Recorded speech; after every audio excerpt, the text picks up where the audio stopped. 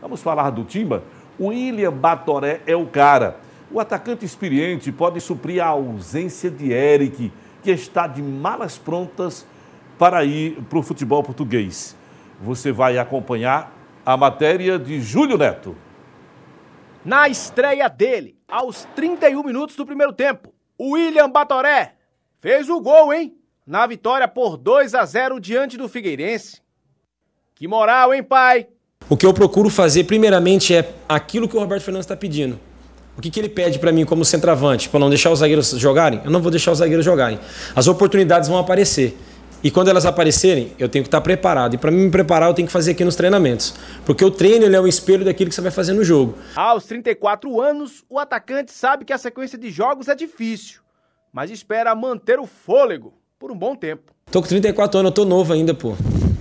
34 anos, tô novo. Você viu o Sheik, os caras 38 anos aí correndo, fazendo gols, os caras jogando o jogo inteiro, então eu tô bem ainda. Por mais que tá com 34, mas é a diesel, viu?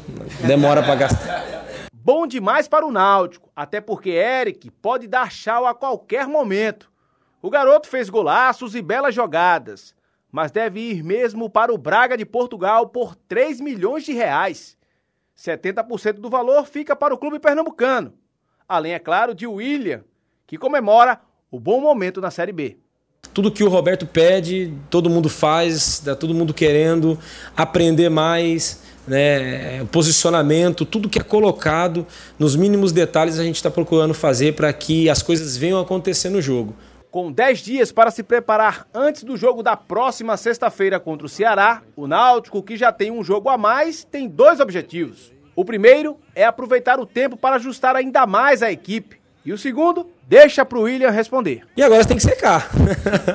Nós vamos secar sim. Se, se, se eles puderem perder e, e, a gente se manter né, nessa colocação que a gente está, para a gente será melhor. Então vamos estar tá secando sim. Por que não, né?